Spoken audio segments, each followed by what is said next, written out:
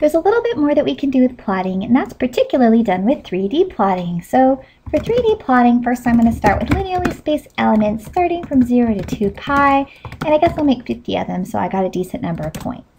And I'm going to do the sine of x, all right? So just to remember what this looks like, I'm going to plot x versus y, and there's a sine function, and it's amazing. Sine function, sine functions make us happy. Okay, now, so this is what I want to do next. So I have the sine function. It makes me super happy. It looks lovely. Now what I'd like to do is I'd like to take that sine function and I'd like to plot it in a 3D axis. In order to do that, I have to give it some z values. So for no particular reason at all, I'm just going to let z equal to x plus 5. And I picked x plus 5 just to show how completely random and arbitrary it is. So basically what I'm going to do is I'm going to plot in 3D x, y, z. okay, you're like, wow, that's really not that impressive. But it is, because basically it's a sine function. Let me pop this out.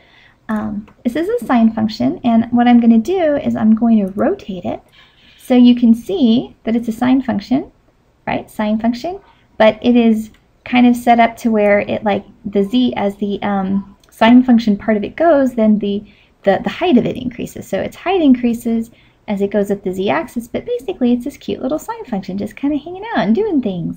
kind of fun. So, um, so that's something that you can do is, and it really is just plotting like the first x, the first y, the first z, the second x, the second y, the second z, the third x, the third y, the third z, and so on and so on and so on. Okay, so that's kind of what we got there. Um, for no particular reason as well, instead of calling it plot 3, I could actually do something called a comet. Oh, come on. Comet XYZ. Comet. No, you have to let me do this. Um, maybe you don't. Oh, oh, sorry, because we're in 3D. Comet 3. Did you see it happen really fast? Or maybe I should put that here. Okay. Do it again. All right, I want to slow it down so I can see it. So I'm actually going to add more points. And it's like a comet. It's like it's happening right before my eyes.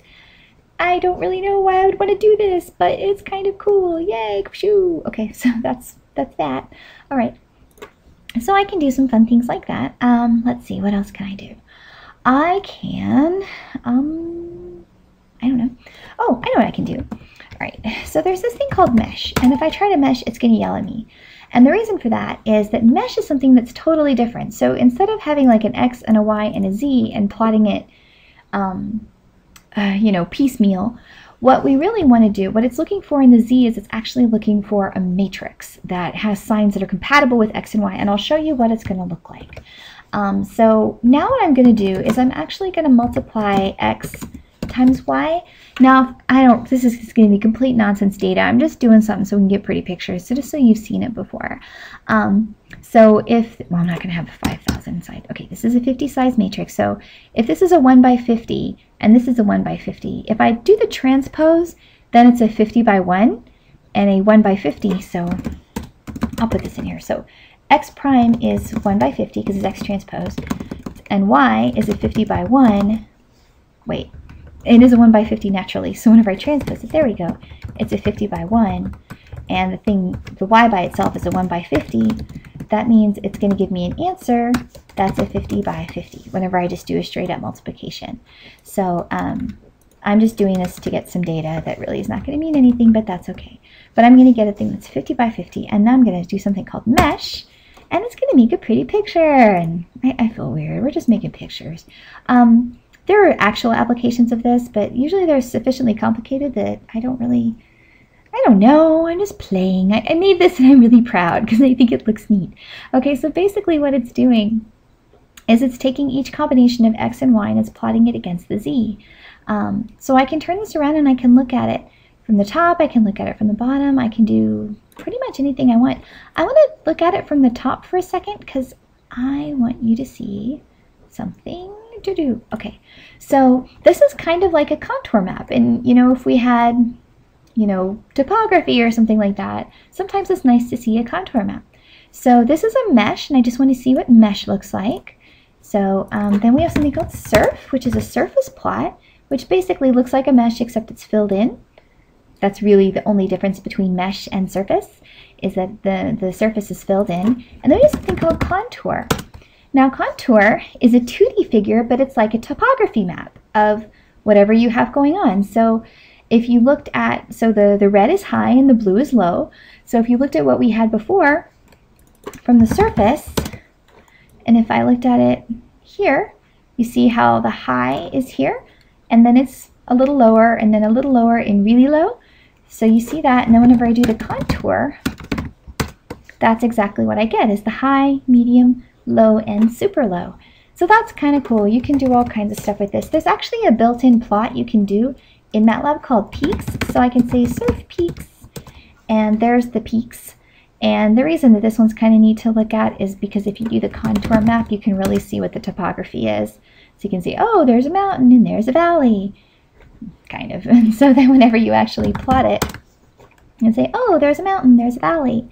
You can do some fun things with this. You can actually change the color map. Go help color map to get more information. Um, but we can change, tells you what all the options are, maybe.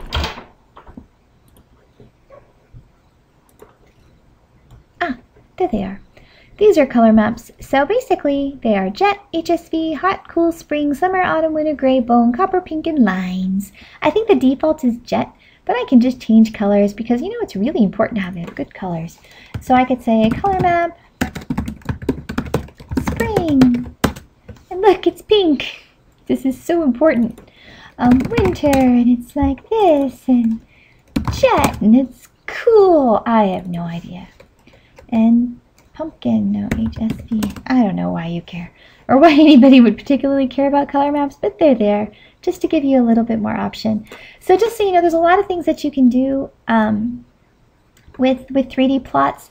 And it's really hard to go over, over everything you're going to need to know. It's just one of those things that you just kind of figure out as you need it. But if you know that there are some certain functions out there that are available, then you can use them. Color, and like, for example, the contour map is always kind of cool. The mesh and the, um, the mesh and the surface plot. And if you just do a, but it's important to remember that if you just do like a straight, it's like if we had this guy here, and remember how we just had the straight um, plot 3, all that's literally doing is just plotting x, y, and z um, as a three-dimensional set of corresponding points. So you've got some different kinds of 3D graphs that you can play with, and they all have their own little, little quirks and things that make them interesting.